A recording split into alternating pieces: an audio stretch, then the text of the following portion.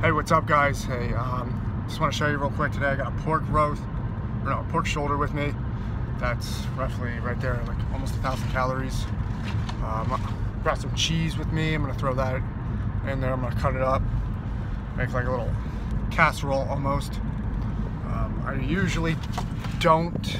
Whoa, that was close. I usually don't do um, all that kind of seasoning, but you know it's for the price and in my rush today, I threw that together. It was already came already pre-season, but um, real quick, I just want to go over how important like this diet can be for you because you never really have to put too much thought into it, and you just throw something together real quick and you're done. You're done with the day, and especially if you live a very hectic lifestyle, very you know on the go, go go go go, move move move. This this diet is superior to all. It's know, it just keeps you going, the energy, the high levels of hormones that you have, and just very little, you know, thought that you have to put into it.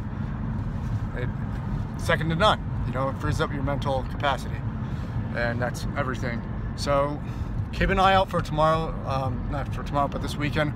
I'm shooting a video, another one of um, a grocery list and whatnot. So that'll be pretty cool. But I'm gonna end uh, this video here. You know, I'm running running um, short here. So if you find value in these videos, uh, do me a favor, subscribe and hit that like button and share it if you know people that want to do the carnivore diet. This series will help them out tremendously.